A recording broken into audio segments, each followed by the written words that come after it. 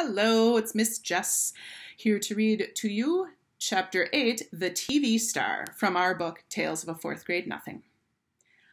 Aunt Linda is my mother's sister. She lives in Boston. Last week she had a baby girl, so now I have a new cousin. My mother decided to fly to Boston to see Aunt Linda and the new baby. I'll only be gone for the weekend, my mother told me. I was sitting on my bed watching her pack.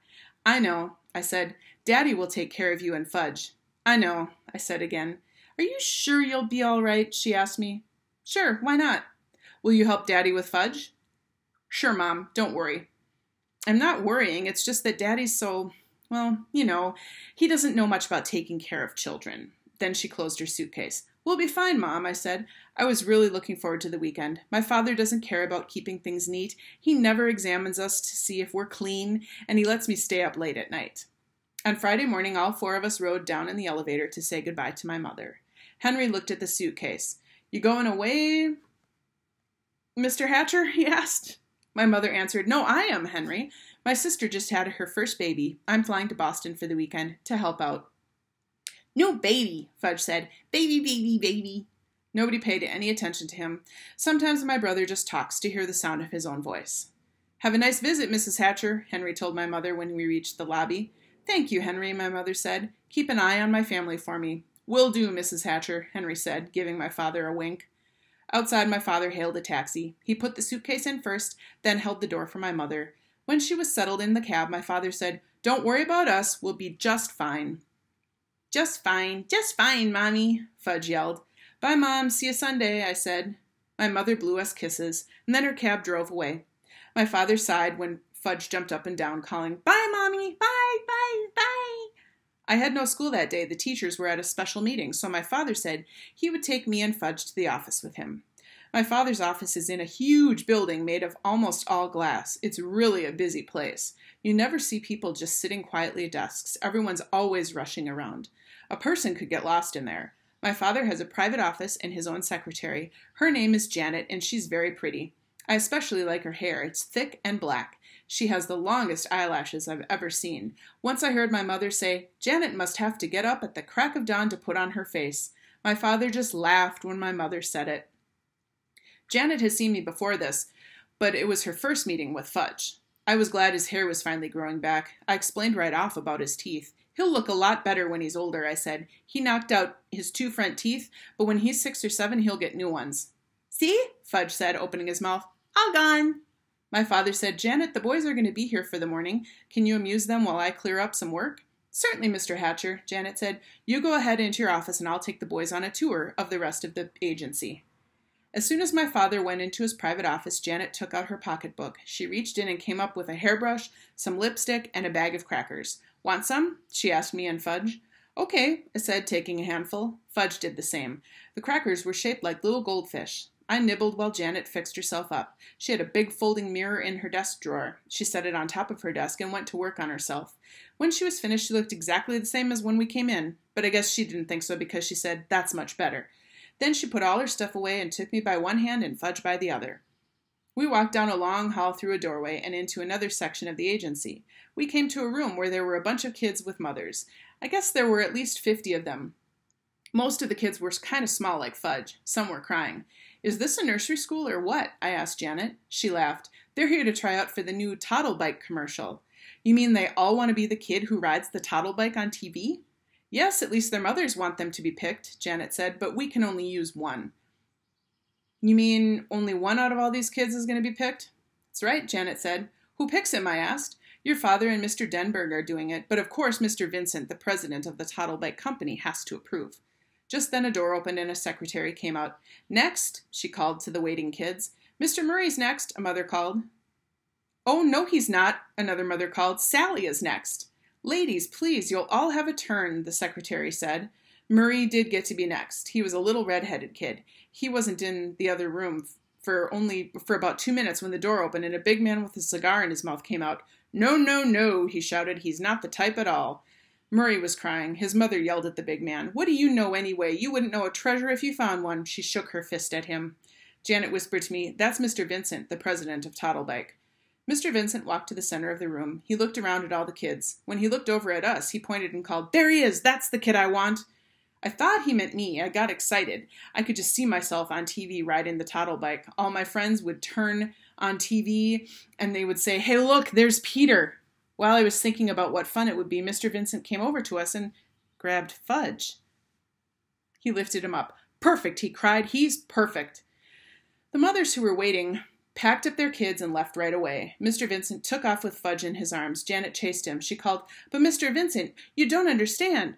I ran after Janet. Mr. Vincent carried Fudge into the other room. He announced, I found him myself, the perfect kid to ride the toddle bike in my new commercial. Mr. Vincent put Fudge down and took the cigar out of his mouth. There were two other men in the room. One of them was Mr. Denberg. The other one was my father. Hi, Daddy, Fudge said. George, my father told Mr. Vincent, this is my son. He's no actor or model. He can't make your toddle bike commercial. He doesn't have to be an actor or a model. He's the perfect one, just the way he is, Mr. Vincent insisted. Now look, George, we want to make the best possible commercial for your company, but Fudge can't be the boy to ride the toddle bike. Now you listen, Hatcher, Mr. Vincent raised his voice. I wondered why he called my father Hatcher, just like Mr. Yarby did. Mr. Vincent pointed to Fudge. Either that kid rides my toddle bike or I take my account to another advertising agency. It's that simple.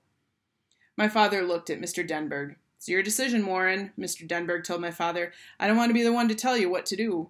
My father picked up Fudge and held him on his lap. Would you like to ride the bike and the ride the toddle bike, Fudge? It's just like the one you have at home. Why are you asking him? I said. What does he know about making commercials? My father acted like he'd forgotten I was even around. I'm thinking, Peter, he said. Please be quiet. Well, Hatcher, Mr. Vincent said, what'll it be, this kid of yours, or do I move to another agency? I remembered how my father had lost the Juicy-O account because of Fudge. Now maybe he'd lose this one too, and I don't think he can afford that. Finally, my father said, All right, George, you can use him on one condition, though. What's that, Hatcher? Mr. Vincent said. The commercial has to be made this afternoon. After today, my fudge won't be available. That's fine with me, Hatcher, Mr. Vincent said. Is he going to get paid? I asked my father. I'll worry about that, Peter, my father said. That probably meant yes. He'd be paid and have lots of money in the bank.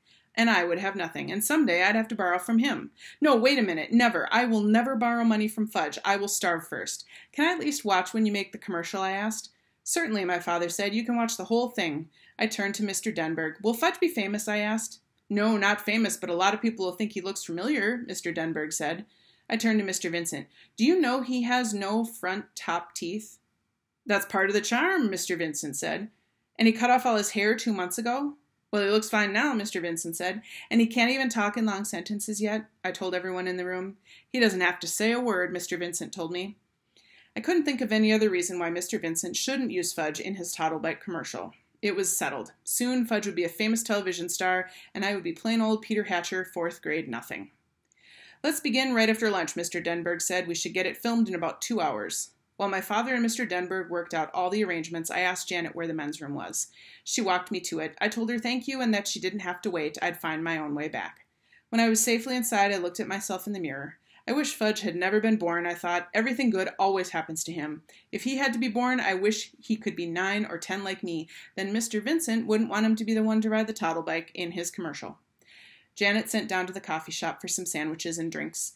After we ate all eh, after we ate, we all walked to another section of the agency where the cameras were set up. A make believe street scene was in the background. The toddle bike was shiny red. My father told Fudge all he had to do was ride it around. Fudge like that. He zoomed all over the place. Vroom, vroom, vroom, he said. My father, Mr. Vincent, and Janet sat on folding chairs and watched the action. I sat on the floor at my father's side. Mr. Denberg was the director. He said, Okay, Fudge, we're ready to begin now. You ride the toddle bike where I tell you, and I'll take a picture of you doing it, all right? No, Fudge said. What does he mean, Hatcher? Mr. Vincent asked. Why did he say no? My father groaned. Look, George, using Fudge was your idea, not mine. Mr. Denberg tried again. Okay, Fudge, this is it. The cameraman said, Starting, start riding this way. Ready, set, go. Fudge sat there on the toddle bike, but he wouldn't pedal. Come on, kid, let's go, the cameraman called. No, don't want to, Fudge answered. What's with this kid, Mr. Hatcher? the cameraman said. Fudge, my father said, do what the nice man tells you to. No, don't have to, Janet whispered to my father. How about some cookies, Mr. Hatcher? Good idea, Janet, my father told her. I have some Oreos right here, she said, patting her pocketbook. Shall I give them to him? One at a time, my father said.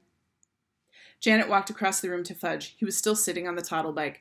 If you do what the nice man says, you can have a cookie, Janet told him. Show me, Fudge said. Janet held up a box of Oreos. She was really well prepared, I thought. She must eat all day long, what with the crackers shaped like goldfish and a whole box of Oreos, too. I wondered what else she had in that pocketbook. Give me, Fudge said. Janet held up one cookie. Fudge reached for it, but Janet didn't let him go. Didn't let, let him get it. If you do what the nice man says, you can have an Oreo. Maybe even two or three Oreos. First cookie, Fudge said. First do what the nice man says, Janet told him. No, first cookie. Give him one, Janet, Mr. Denberg called. We haven't got all day to fool around. Janet gave Fudge one Oreo. He ate it up. Okay, kid, all ready now? The cameraman said. You ride over to me. Fudge didn't do it. Mr. Vincent was losing his patience. Hatcher, he hollered, you get that son of yours to ride my toddle bike or I'm taking my whole account away from you and your agency. Must I remind you, George, using Fudge was your idea, not mine. My father said, Forget about whose idea it was, Hatcher. He's your kid. You better get him get through to him right now.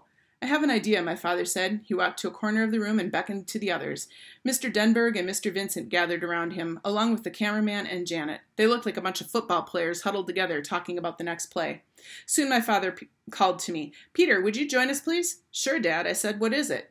Peter, we want you to ride the toddle bike for us to show Fudge how it's done. He already knows how to ride it, I said. Didn't you see him zooming around? He won't do it for the cameras, though, my father explained, so we need your help. Will I be in the commercial too? I asked. Well, the toddle bike is really for very young children, Mr. Denberg said. Otherwise, we'd have you do it in a minute. I got the message. It was like buying the shoes, and like at Dr. Brown's office, they were going to use me to get Fudge to do what they wanted him to do. I wondered how anybody would ever manage my brother without my help. I walked over to Fudge and told him I was going to ride the toddle bike. Get off, I said. Fudge held onto the bike. No, mine. It's not yours, my father told him. But Fudge wouldn't move for anything. He closed his eyes and screamed. Can he scream loud when he tries? So my father had to pull him off the toddle bike. Fudge kicked and kept screaming, and I'll bet Mr. Vincent was sorry that he ever spotted my brother in the first place. I got on the toddle bike. It was so small my knees practically touched the ground, but I managed to ride it around just where the cameraman told me to. See how nice Peter can ride the toddle bike, Janet said. Here, Peter, come have an Oreo. You did that so well you can have two or three if you want. Fudge stopped screaming. Me, he said. What? my father asked him. Me, ride, me. You can't ride as well as Peter can, Mr. Denberg said. Can so, Fudge told him. I don't think so, Mr. Denberg said. You're already had a turn and you didn't do what I told you to do. Me. You want to try again? my father asked. Again, Fudge said. Again, again, again. Well, I don't know, Mr. Denberg said. Well, Mr. Vincent said, chewing on his cigar. Well, the cameraman said, scratching his head. Please, begged Fudge. I never heard my brother say please before. Mr. Denberg said, Okay, we'll give you one more chance. Fudge ran to the toddle bike. I got off and he jumped on. Now? he asked Mr. Denberg. Now, Mr. Denberg said. Ride this way, Fudge. Over here, toward me. Fudge did as he was told. Just like Pita, he said. See, just like Pita. Janet gave me a kiss on my cheek. You saved the day, Peter Hatcher, she said. When she wasn't looking, I wiped off my face. Her kiss was too juicy. We will read next time from Chapter 9, Just Another Rainy Day. Thanks for listening. Bye bye.